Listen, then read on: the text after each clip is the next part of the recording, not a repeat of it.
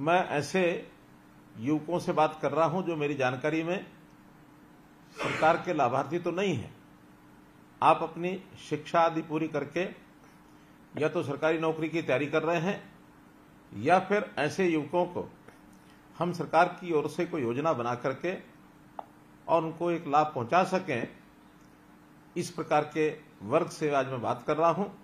और सरकारी नौकरी की जहाँ तक विषय है योग्यता के आधार पर हमने एक शब्द प्रयोग किया कि बिना पर्ची, बिना खर्ची ये नौकरी दी जाएगी। और मुझे इस बात का संतोष है कि पिछले नौ वर्ष में हम इससे पहले की जितनी सरकारें रही हैं, अगर औसतन लगाएँ तो सबसे ज़्यादा नौकरियाँ हमने दी हैं।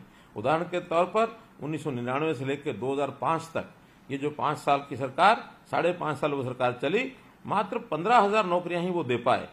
और फिर कांग्रेस की सरकार 2005 से 2014 पूरे 10 वर्ष चली उन्होंने भी 10 वर्ष में और छियासी हज़ार नौकरियाँ मात्र दी। अब ये अलग बात है कि क्लेम करने में कोई कितना ही क्लेम करे। मैं भी पिछले दिनों में पूर्व मुख्यमंत्री भूपेंद्र सिंह हुड्डा से बात मैं सुन रहा था उनकी बात तो उसमें उन्होंने बताया कि हमने एक लाख तो अध्यापक लगा दिए हैं, जबकि वास्तविकता ये है कि कुल दस साल में पैंतीस हज़ार अध्यापकों की भर्ती उन्होंने की है। मैं कभी ना कभी उनके आमने सामने बैठ करके भी इस बात का और, खुलासा करने वाला हूँ कि उन्होंने कितनी नौकरियाँ दी और उन नौकरियों में, उन्होंने नौकरियाँ लगाने का प्रयत्न किया होगा, लेकिन वो प्रयत्न करने के साथ उनके एक सिस्टम में कितनी खराबी थी कि उसमें बहुत सी नौकरियाँ तो बली चढ़ गई। कोर्ट्स ने जिनको रद्द कर दिया तो ऐसी रद्द हुई नौकरियाँ, वो भी उनको देखनी होंगी। और जो उन्होंने आउटसोर्सिंग से लगा करके गेस्ट टीचर लगाए थे, आखिर उस गेस्ट टीचर्स को भी नौकरियाँ नहीं दे पाए। हमने आने के बाद उनको नौकरी भी दी, और नौकरी में उनको अंतिम समय तक वो रिटायर ना हो, ताकि उनको रोज़गार उनके रिटायरमेंट एज तक मिला रहे। ये काम भी हमने आने के बाद किया।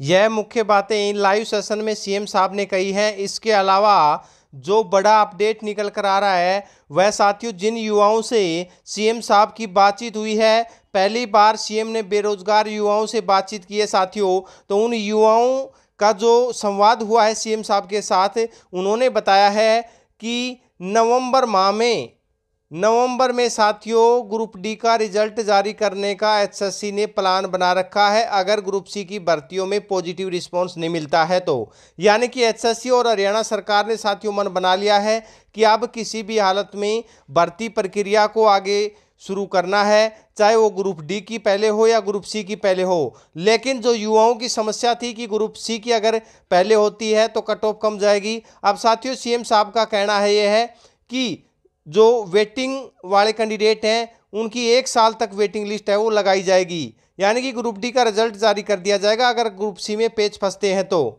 तो ये साथियों न्यूज़ आई है। अब युवा साथियों ने बताया है कि उनके साथ जो बातचीत हुई है, अब क्या हुई है असल में तो साथियों, ये तो लाइव तो हम सुन नहीं सकते। जिन जिन कैंडिडेटों ने बातें की हैं, उन्हीं की तरफ़ से ये जानकारी शेयर की जा रही है। जैसी भी हमारे पास इन्फॉर्मेशन आई, वो आप तक शेयर कर रहे हैं।